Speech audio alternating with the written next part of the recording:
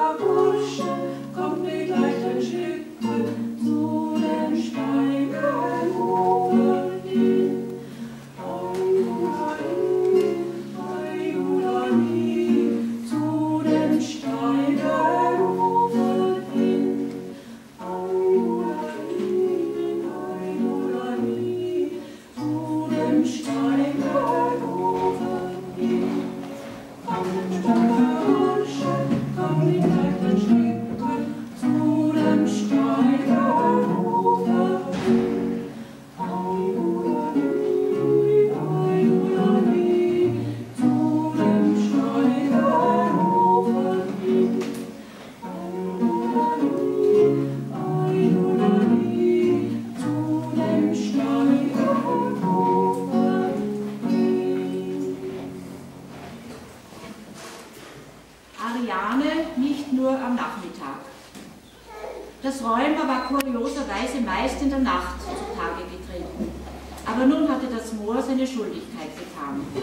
Sie brauchte sich bis auf weiteres nicht mehr wie ein Humpelstilzchen bzw. eine lahmende Laufente fortzubewegen, fühlte sich viel besser, ja geradezu rund erneuert und verjüngt. Trotzdem steckte sie ihre müden Füße nicht ungern ins Fußbett. Sie glaubte sich nach mühseliger Suche ein bisschen sich selbst gefunden und die Elternleitbilder verdünnisiert zu haben. Sie lebte noch von ihrem Mann und von diesem getrennt, geschieden. Einige Zeit hatte sie noch diverse Anstrengungen unternommen, ihn kompatibel zu machen. Es war vergeblich gewesen. Ihr Ex mit allen Abwassern gewaschen, dennoch in ihren Augen ein flach Schwachkopf, Nachtblindgänger und Neanderdog.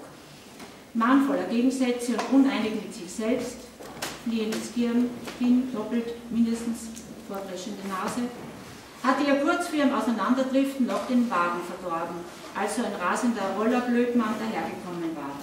Aus, puff. Vorläufig ist Ariane das ganze Jahr über herbstzeitlos angezogen, auf öffentliche Verkehrsmittel angewiesen, was sie gar nicht schätzt.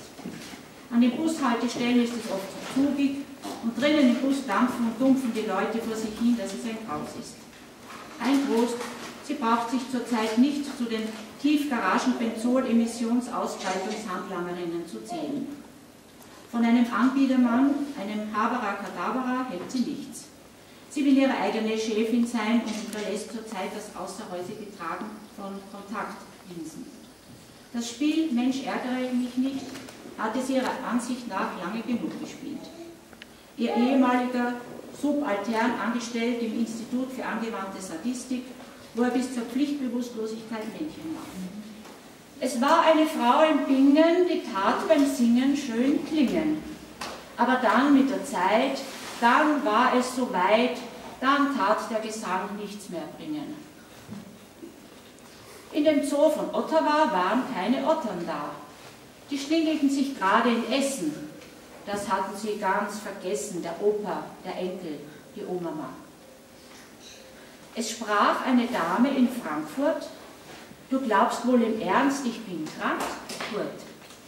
Ich kann dir nur sagen, wenn du mich, mich tust fragen, ich brauche nur einen Trank, Kurt. Du warst doch schon mal in Havanna. Das sagte der Hans zu der Anna. Da musst du dich irren, streng an dein Gehirn. Könntest wissen, dass das war die Hanna. Es gibt eine Frau in Hagen, der liegt es ganz schwer im Magen, dass ihr Mann sie betrügt, wann immer sich's fügt. Dann kann sie einen Korn vertragen. Es war ein Herr in Kalkutta, der sprach, was habt ihr hier für Futter? Ich wünsche zu speisen auch immer auf Reisen, ach, als wäre ich zu Hause bei Mutter.